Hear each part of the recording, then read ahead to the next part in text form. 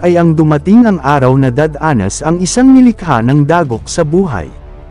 Matapos ng may sugod sa ospital noong nakaraan ang ina ni Manny Pacquiao na si Aling Junisha dahil sa sobrang stress at dala na rin ng kanyang hypertension